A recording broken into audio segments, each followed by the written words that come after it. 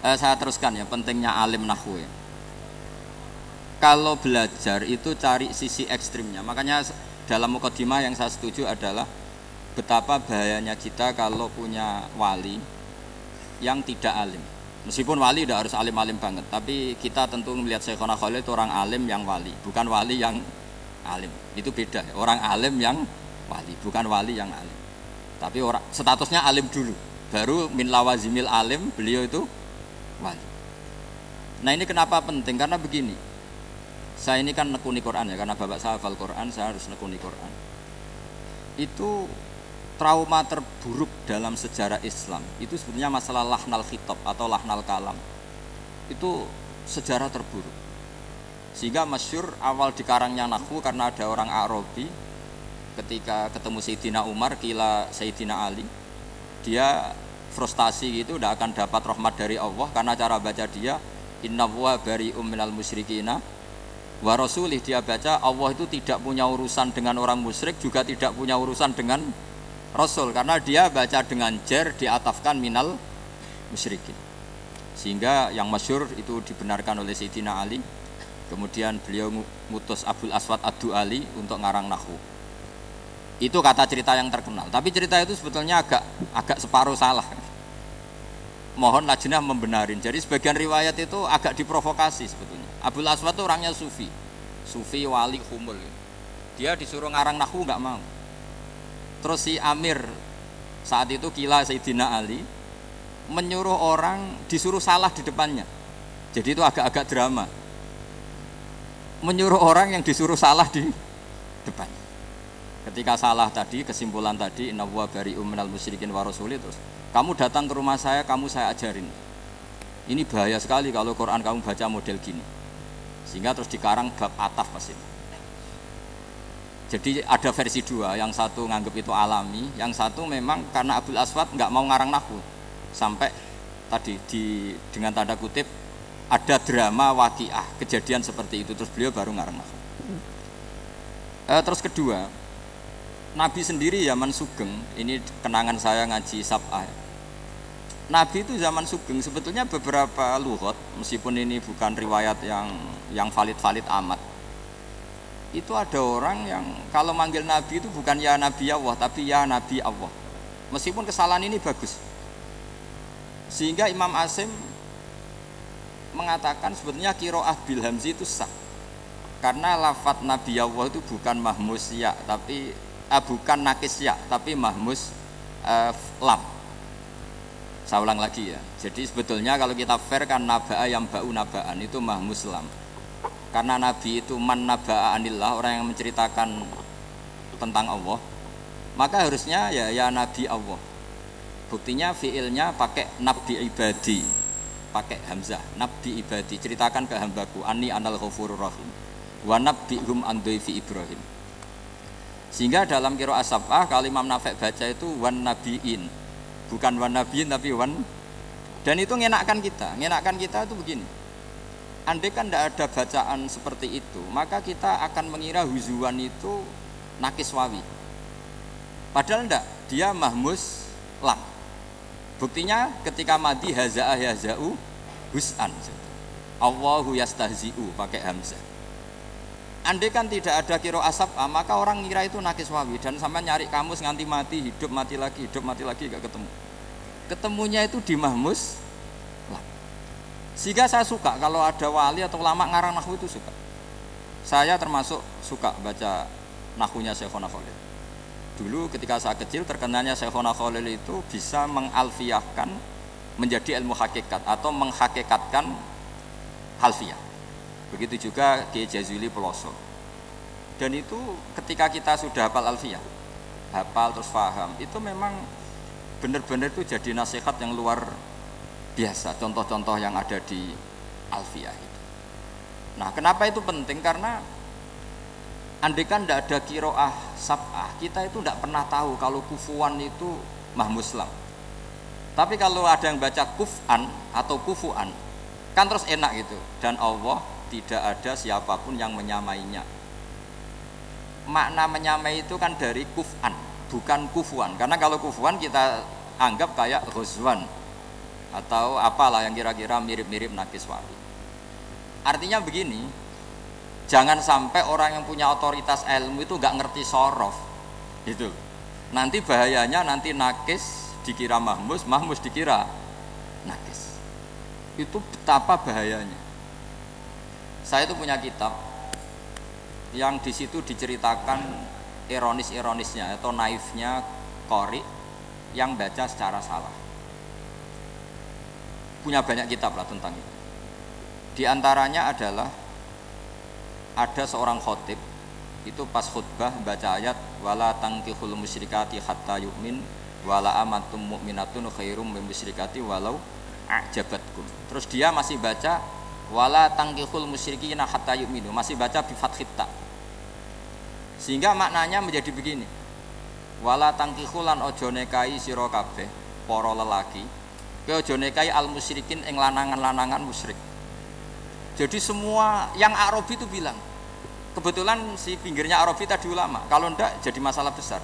Apa betul itu Quran? Kalau Quran seperti itu hebatnya di mana?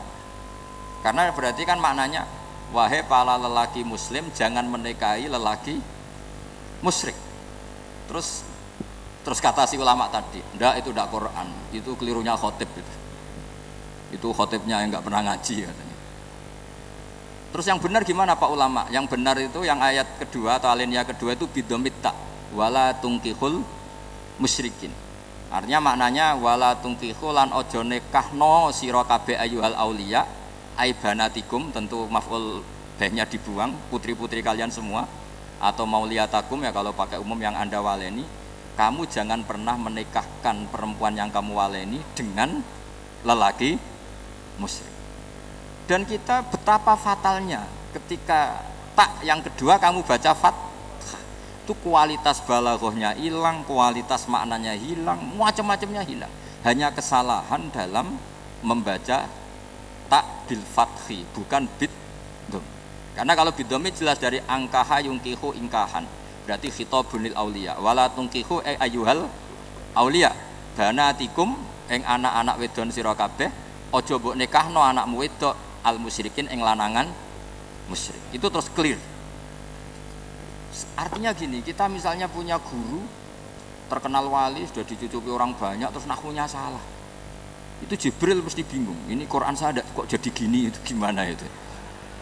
Kan kan kecewa kan nurunkan dengan afsohil lughat dengan kelas terbaik kemudian dibaca dengan secara Fatalnya lagi kalau salah di wirid mandi, lebih parah lagi. Karena nanti yang baca benar gak, gak, gak berani karena takut gak mandi. Makanya saya seneng kalau ada ulama kayak Syekhona Khalil terkenal wali tapi juga terkenal an-nahwi. Saya dulu ngaji Mbah Mun itu Jamul Jamek lo kitab yang bulatnya Masya Allah. Seneng saya sama ngaji ulama yang kitab-kitab nahwu yang bulat-bulat. Mun itu sampai sepuh ya baca Ibnu Akil sampai sepuh. Itu memang seakan-akan jadi peringatan bahwa syaratnya ulama yang jadi wali bukan wali yang menjadi ulama itu memang harus mutabakhir. Bil lughatil atau bilisanil arabi. Kalau istilahnya Quran itu bilisanil arabi wa innahu latanzilu rabbil alamin nazala bihi ruhul amin ala qalbika litakuna minal mungdirin bilisanin arabiyyin jadi kalau ini di kitab Istidadul Maut maupun Takriratu Saikhina Khalil itu tetap harus dianalisis sebagai tadi. Jadi ngaji nahwu itu adalah dimulai karena cari ekstrimnya. Termasuk mahdhuf. Mahdhuf itu harus dipelajari. Di sini saya juga baca banyak tentang mahdhuf. Meskipun beliau tidak menyontohkan yang ekstrim, tapi kalau saya suka nyontohkan yang ekstrim. Misalnya begini. Sampai yakin Fatihah itu kalamu apa enggak? kalamu kan coba kalau tanpa mahdhuf Allah ngendikan pada Nabi Muhammad iya karena butuh Muhammad kepadamu kami menyembah coba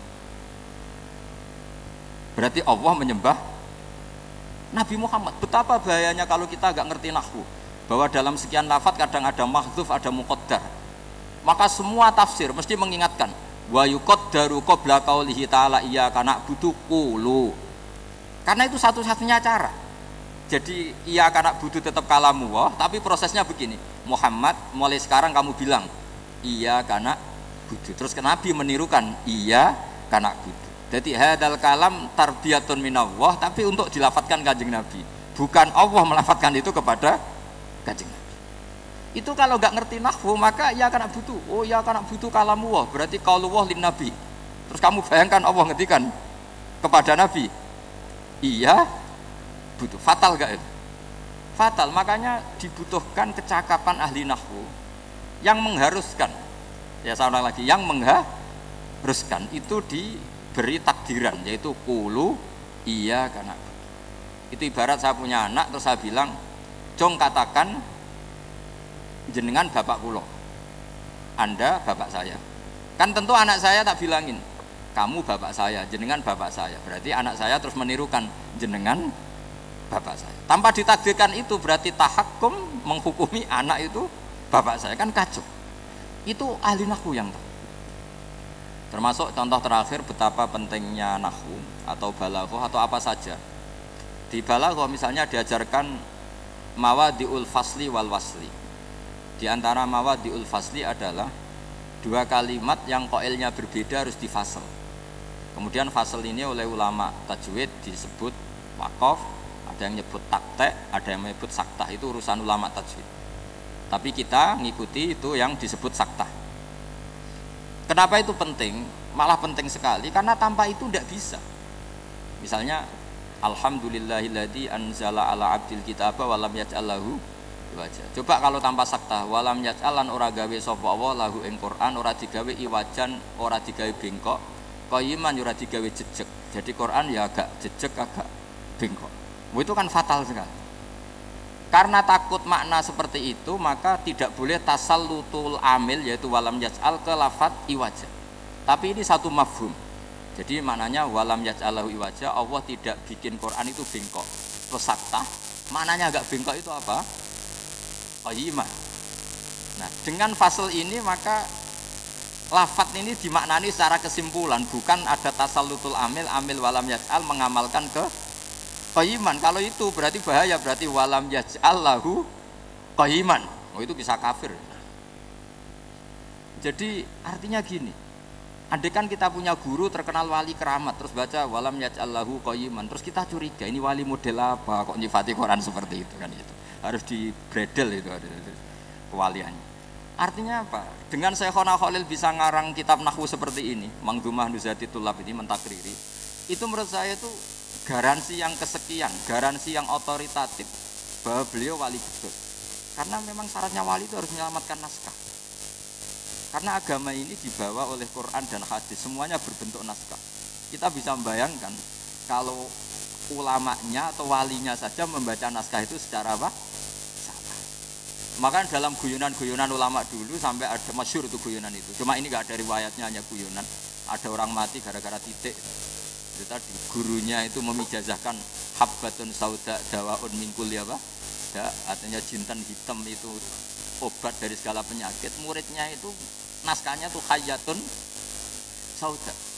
Ular hitam karena kalau habba itu bebijian kalau hayah itu lah ular hitam itu kan artinya kobra dicari dicari dipatok terus takobal wa min kum takobal ya karim itu gara-gara salah naskah tapi yu'addi ilal maut itu gara-gara apa. Sehingga saya saya mohon sama ini lajnah kalau meneliti satu ilmu itu cari sisi ekstrimnya. Nanti kelihatan betapa pentingnya nahwu pentingnya sorof pentingnya nahwu yang detail. Ya nahwu yang detail kayak tadi yang sampai makhluf tadi Makanya semua tafsir sama lihat itu. Mesti sebelum ia kena butuh wa daru qabla qauli ta'ala ia kena butuh kulu. Karena tanpa itu kamu bayangkan hadza kalam wah nabi.